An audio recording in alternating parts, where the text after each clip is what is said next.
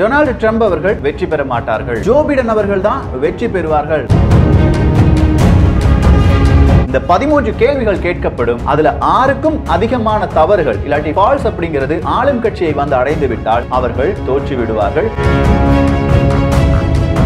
அதுல எட்டு புள்ளிகள் ஆளும் கட்சி இருக்கு பாருங்க. அவங்களுடைய ஆட்சி எப்படி இருந்தது? இரண்டு கேள்விகள் அப்படின்னு சொல்லும்போது அதிபர் தேர்தலில் யார் வேட்பாளராக நிற்கிறார்களோ அவர்களுடைய வெளி தோற்றத்தை அடிப்படையாக கொண்டது. மூன்று கேள்விகள் அந்த எலெக்ஷன் ப்ராசஸ் இருக்கு பாருங்க. அதை பேஸ் பண்ணி இருக்கும். முதல் கேள்வி கட்சியினுடைய இப்போதைய நிலையில் இடைக்கால தேர்தலில் அதிக அளவு வாக்குகளை ஆளும் கட்சி வாங்கி இருக்கிறதா இதுல டொனால்டு ட்ரம்ப் அவர்களுடைய கட்சி இரண்டாயிரத்தி பதினெட்டாவது வருடம் நடந்த இடைத்தேர்தலில் பெரிய ஒரு வீழ்ச்சியை சந்தித்தது. நெகட்டிவ் மார்க் டொனால்டு ட்ரம்ப் அவர்களுடைய கட்சிக்கு கிடைத்து விட்டது அடுத்த கேள்வியாக இப்போது நிறுத்தப்பட்டிருக்கும் ஆளும் கட்சியினுடைய வேட்பாளருக்கு போட்டி அதிகமாக இல்லாமல் இருந்ததா? ஆம் டொனால்டு ட்ரம்ப் அவர்களுக்கு எதிராக குடியரசுக் கட்சியில் அதிகமாக யாரும் போட்டி போடாத காரணத்தினால் டொனால்டு ட்ரம்ப் அவர்களே வேட்பாளராக அறியப்பட்டிருக்கிறார். சோ இதுல பாசிட்டிவான மார்க் டொனால்டு ட்ரம்ப் அவர்களுக்கு கிடைச்சிருக்கு. அடுத்த கேள்வி இப்போது இருக்கும் அதிபரே மீண்டும் போட்டி போடுகிறாரா? ஆம் இரண்டு பாசிட்டிவ் ஒரு நெகட்டிவ் நான்காவது கேள்வியாக இந்த இரண்டு கட்சிக்கு எதிராக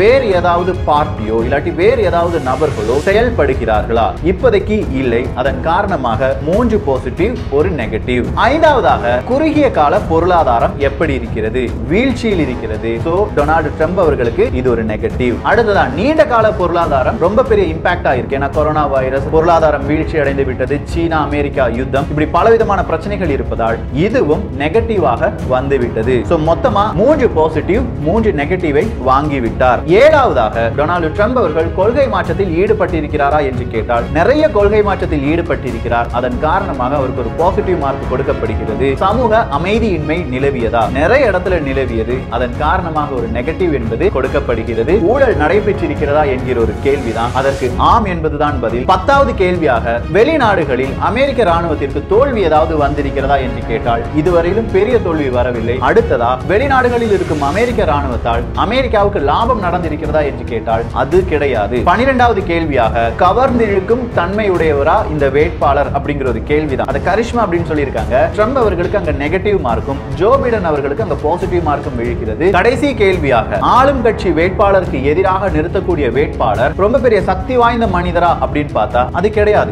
ஆறு நெகட்டிவ்க்கு மேல ஆளும் கட்சியினுடைய வேட்பாளர்கள் வாங்கி விட்டார்கள் என்றால் அவர்கள் தோற்று விடுவார்கள். இரண்டாயிரத்தி இருபதில் டொனால்டு ட்ரம்ப் அவர்கள் தோற்று விடுவார்கள் அப்படின்னு சொல்லியிருக்காங்க. சோ இந்த ஒரு பதிவை நம்ம போட்டிருக்கோம்.